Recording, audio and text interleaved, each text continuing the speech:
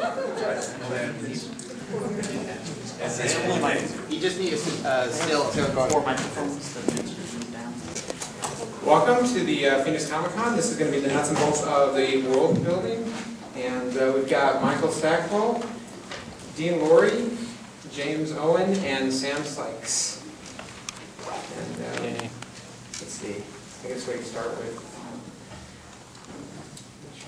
Start with Sam, or he'll tase you. Okay, well, I know we've had had a discussion about tasing, so everything's going to wind up ending with, or Sam will tase you. Um, Could you go ahead and let us, uh, tell us a little bit about your book? Sure, sure. Uh, I wrote these two behemoths, Tome of the Undergates and Black Halo. Uh, they are. I've been criticized about how light it is on world building. And to be honest, when I'm on these sort of panels, I sort of just make it a point to disagree with everyone. Because I do love world building as much as everyone else. But I find that a lot of people focus a lot on world building, thinking that the world building is going to drive the story, which is a pretty fallacious notion. It's always character that drives everything else. And so I'm going to be completely obnoxious during this whole thing. I might even get your faith. No, you can't tase me. It'll be funny. I fully approve of Okay. I'm uh, James Owen. My main series most people know me for is called The Chronicles of the Imaginarium Geographica that I write and illustrate. And I actually just uh, finished the revisions of the sixth book in the series yesterday, which is why I didn't get in here until just a couple of hours ago. And uh, I'm working on the seventh one.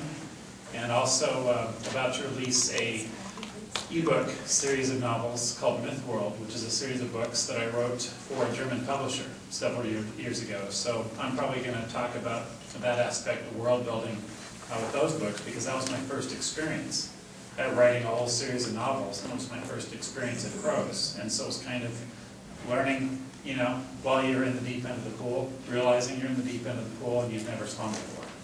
So that, that's probably going to be my focus on it. Uh, my name is Dean Lorey. I write the Nightmare Academy uh, series, which is a middle grade series uh, for kids you know, 9 to sort of 14.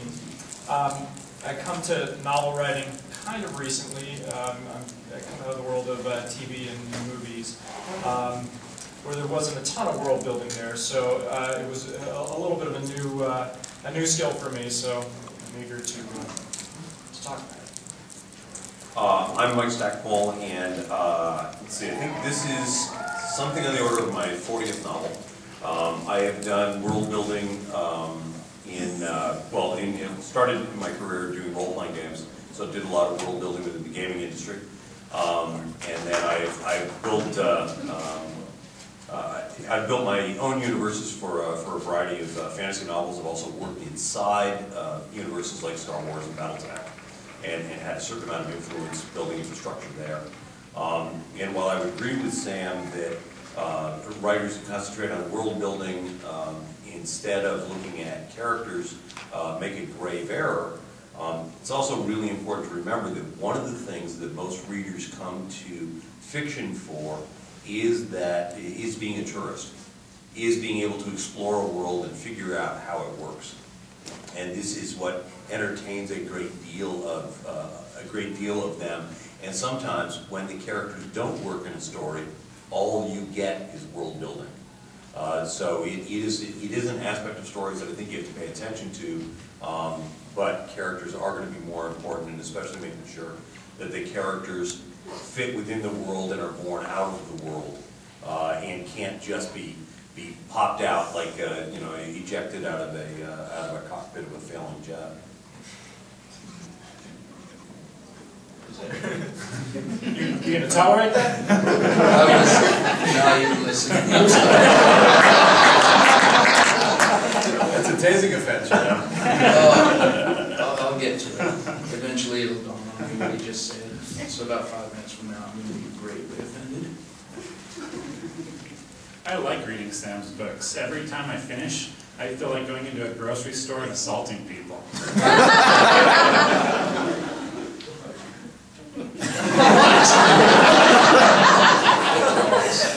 be blamed for what people do. But you don't use the produce in the cans. Well, use no, the fresh stuff. You gotta use the otherwise. No, that's, actually, you know, that's, that's a real good point, um, even though I'm just giving him a hard time. But the world building works when you feel you're completely immersed in that world. And that's something I've, I've actually really enjoyed about the books that Sam writes, is you get completely into it. Um, if the world building worked out that way, um, a lot of times it doesn't. But that's when it hasn't really worked.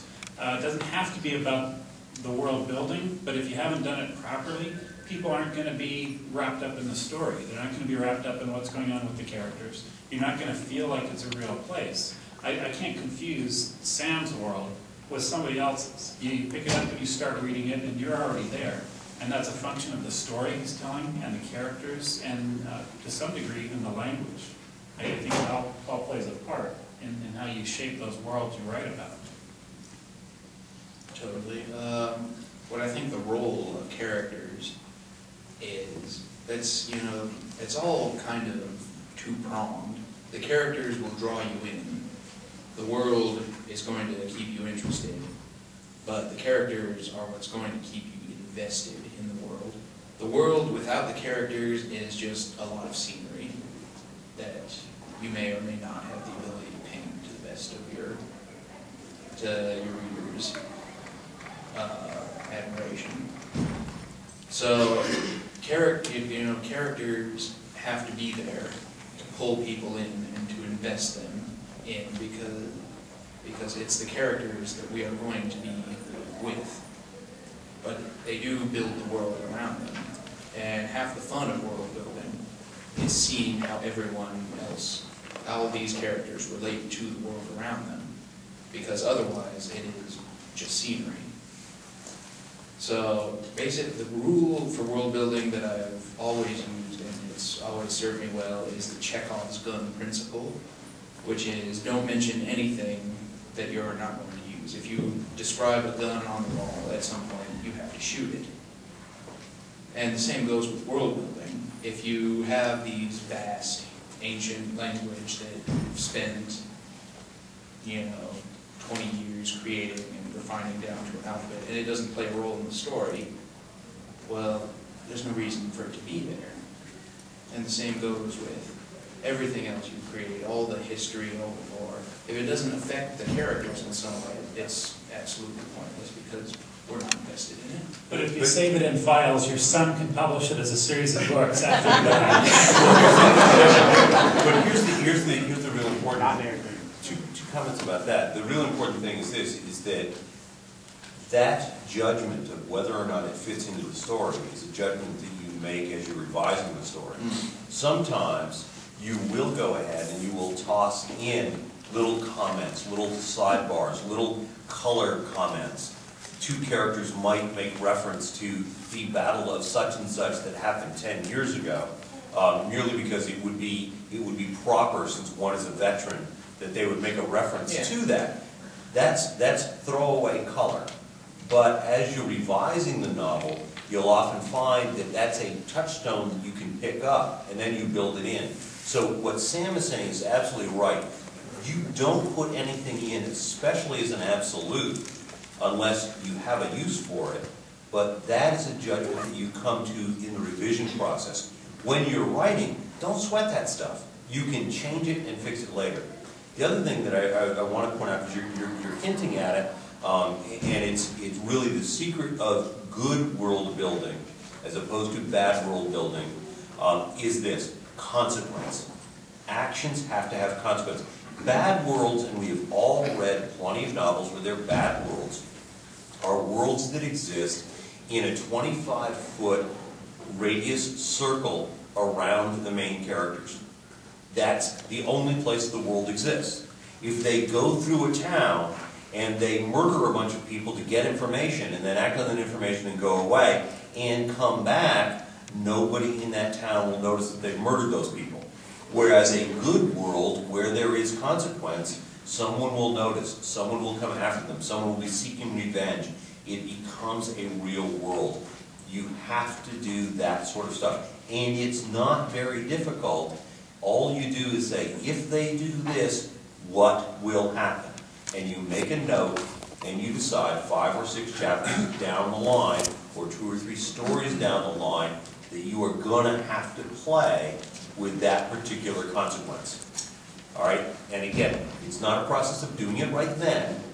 And again, I, one of the things that drives me nuts about some authors, and it goes back to the whole Chekhov gun thing, um, you know, because if you show the gun, you know, then you better use it immediately. Yeah. Um, no, you can stretch it out.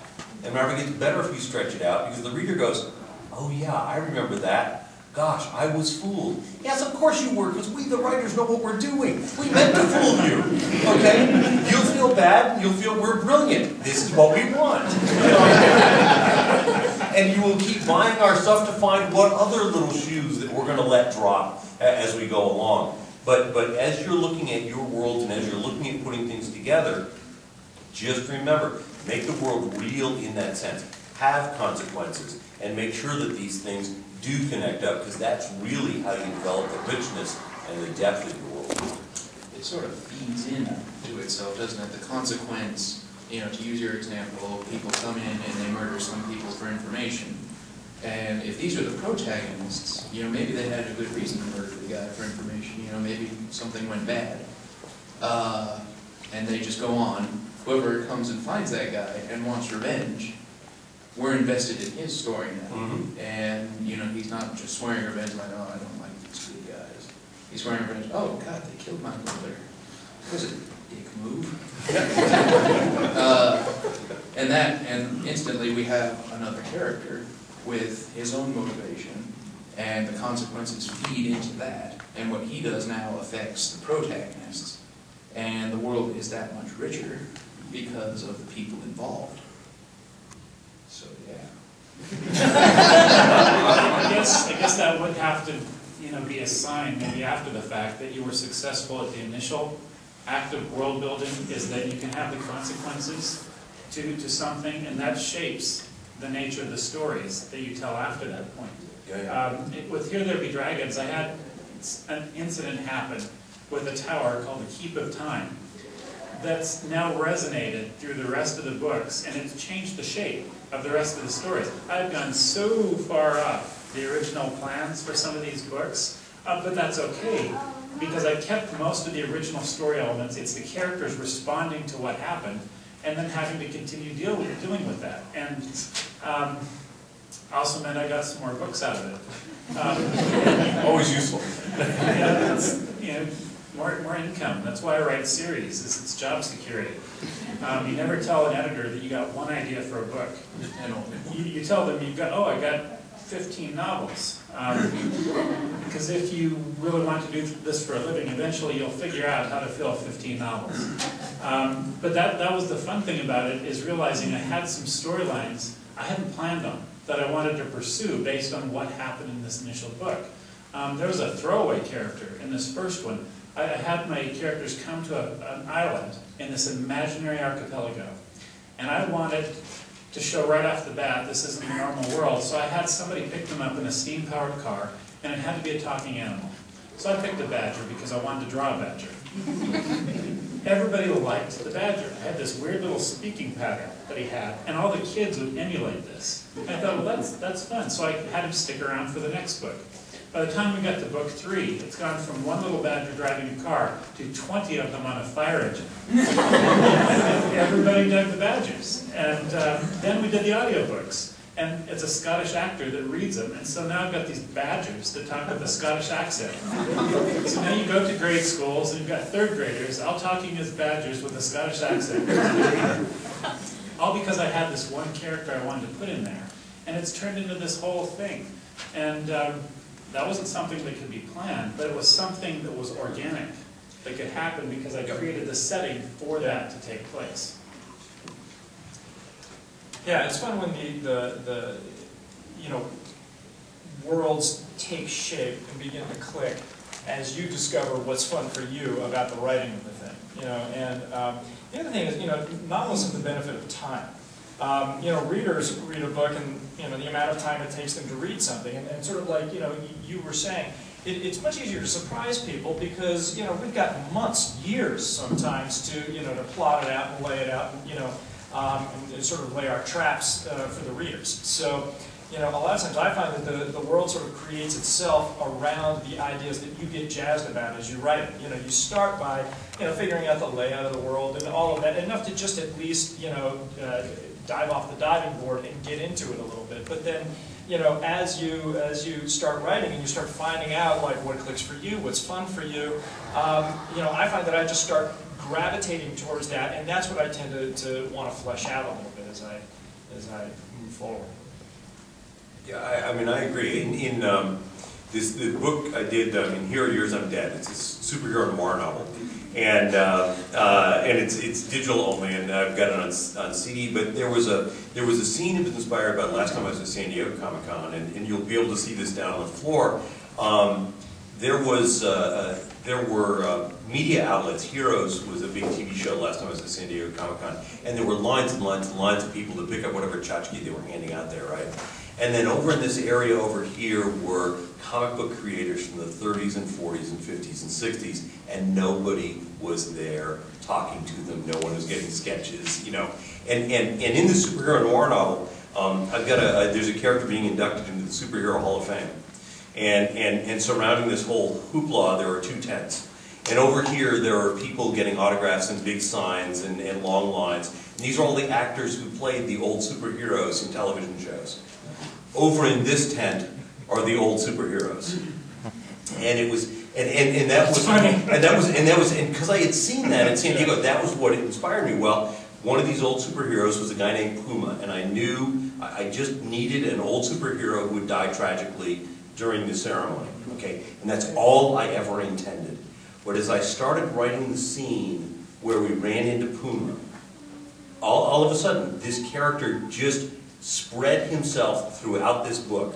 I mean, as intended, he dies right there, but his influence through flashbacks and stuff that, that he had left after he died, he left letters for people, and all of these other things, suddenly he became a central character in this novel who I had never considered even adding into the book, except for that little thing that I saw at San Diego.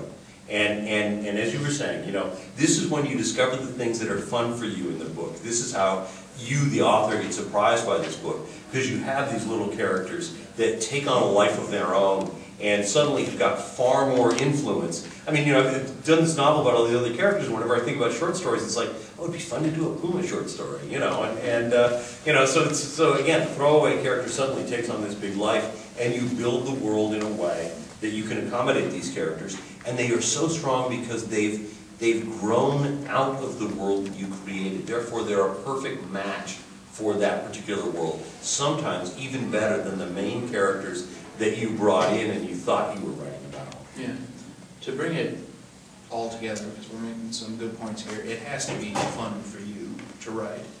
If it's, like, I just, when you mentioned the Keep of Time, I instantly thought of that scene in which it is a giant tower, which time is pretty much held in this tower, and it gets destroyed. And afterwards, I'm like, hmm, that might be a problem later. But okay, onward. Uh, and I could tell, you know, James had a lot of fun writing that. Same with, you know, the Badgers, and they're worth. It's worth reading just for the Badger. I don't, I don't think of him as a throwaway. I think he made the book. but this does remind me of some authors who, and I mentioned this before, a lot of authors who feel they have to do a lot of world building, and they have to do you know, they have to flesh out all these histories in great details, and they have to have as many appendices as, as Lord of the Rings does. If it's not fun, you don't have to do it. You should be at least a little interested, because if you're not interested in it, and you're still writing it, the reader is going to read it, and they're not going to be interested. So, so the unspoken question there then really is, and I hear this a lot, how much research or how much world building is too much? And the answer is this, when you are doing the research or doing the world building as an excuse not to write, it's too much. Stop. Write. One of the things that you will find, it is okay, remember, you're gonna be, at minimum, at minimum, you'll have five shots at getting the book right. okay? Your first draft, you will automatically do a second draft just to correct little things. If you send that second draft off, uh, an editor will send it back and will want revisions, so there's draft three. Copy editor will send it back to you, there's draft four, and then you get the galleys, you get that last minute double check. So that's your fifth shot at getting this book right. There is no sin in, as you're writing the book, saying, just living, you know, putting in parentheses, insert how steam-powered car works here. Okay? You can do that, just keep writing. When you, you know, when you tire or when you are done for the day, then you go ahead and see how that steam-powered car might work, because that might inspire a few more ideas that you can play with later, but you can do that. And you can go through and retrofit things. Like I say, I'm just finishing up the sequel to this novel, and I've discovered in the last third of the novel certain things which are really making the novel tie up really tightly, and I'm really, really happy. And as I go through and do my second draft, I've got to pull those threads from the end of the book and string them back through the beginning of the book. And just so you know, the end of the book will tell you where the book begins. All right? Where you get to at the end may tell you that you need a couple extra chapters up front, or may tell you your book actually begins at chapter six, and so everything before it you could throw away. All right? These things happen. But once you get through that novel, you'll have learned a lot about the world, you'll have found these cool little things, you've found these characters that you want to emphasize, and you'll be able to draw them back in. And that is part of the creative process, and that is what makes it so much fun. Because you look at what you thought you were going to do, and then you look at what you, what turns out, and what turns out is always more magical. Just because of the way that it's, it's built up momentum, and you've gotten to know the characters, and they take on lives of their own.